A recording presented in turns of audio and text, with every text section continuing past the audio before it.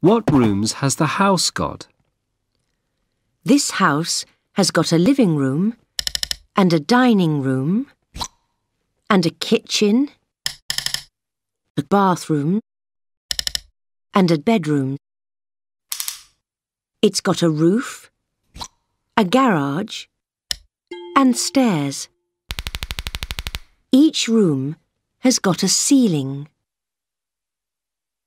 Which rooms are important? I think the kitchen is important.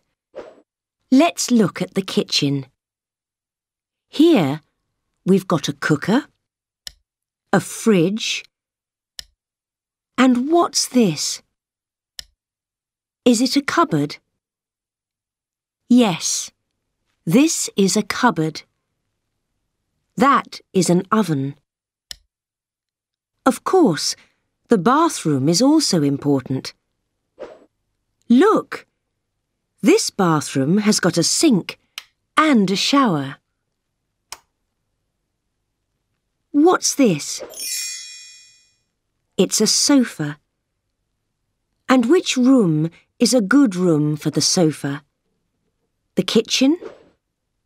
The dining room? The bedroom? Or the living room? The living room. Yes, I agree. The living room. And it has got an armchair too.